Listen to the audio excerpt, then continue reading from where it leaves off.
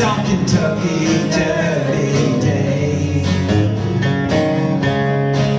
Well, I'll be down in my basement room with the needle and the spur. Another girl.